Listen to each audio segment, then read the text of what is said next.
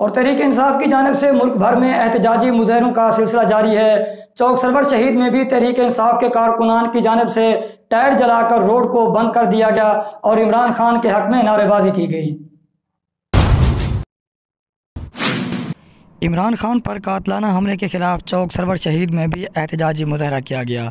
एहतजाजी मुजाहरे में P T I कारकुनान और शहरीों की बड़ी तादाद ने शिरकत की। मुजाहरीन ने टायर जलाकर चौक पुलाक करके हुकूमत मुखालिफ शदीद नारेबाजी की। मुजाहरीन का कहना था कि हुकूमत ने हमारी रेल लाइन क्रॉस की, जो नाकबिल बर्दाश्त है। कप्तान के हुक्म पर हर किस्म कुर्बानी देने के लिए तैयार हैं। चौधरी जीशान आप तक न्यूज़, चौक सरवर शहीद।